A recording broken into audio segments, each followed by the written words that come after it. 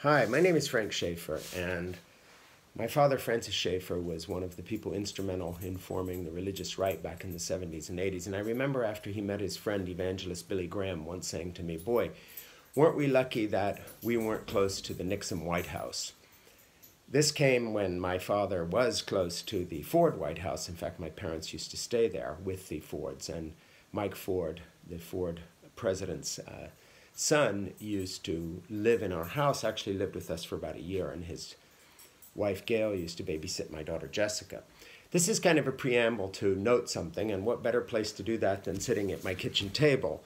And that is that, yes, there is a lot to panic about with the Trump presidency. Yes, we are in deep trouble. Yes, he is attacking democracy directly by questioning the democratic process. For instance, saying that the recounts, which are perfectly normal, and are tipping in some cases in the Democrats' favor are rigged or that it's all a conspiracy.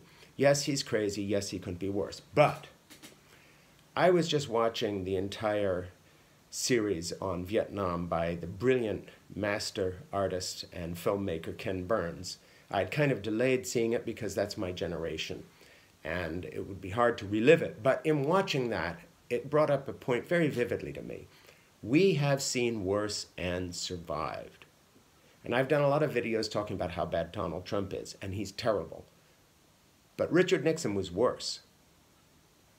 You know, Trump's presidency has led to bombs being sent to Democratic leaders and Jews shot down in a temple by enraged and off the wall white supremacist Americans who have been given a bunch of dog whistles saying what they think and do is okay.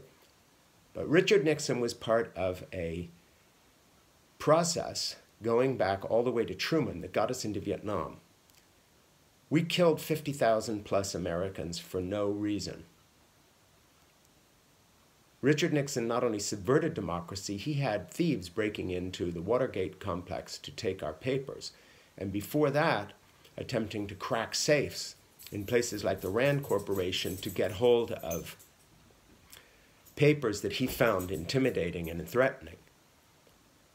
We were in the hands of a real criminal conspiracy, not just an inept fool, con artist, mobster like Trump, and we survived. So I just want to say this to people who watch what I have to say. We have had worse, we have triumphed. Hang in there, fight on, resist, organize. Head into 2020 with confidence that the American people have not all sold out to the NRA and to white evangelical theocrats who want to turn our country into a kind of a handmaid's tale, hell on earth. We survived a worst era, 1968, Kent State, students shot down in cold blood. American service people like my Marine son, who fought in Afghanistan, sent to a war where they were killed for no reason. They were killed for the ego of a president. Two presidents, Johnson and Nixon, who could not figure out how to get us out without losing face.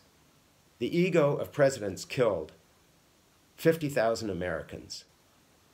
We're not there. We're in a better place. There is hope. Do not give up.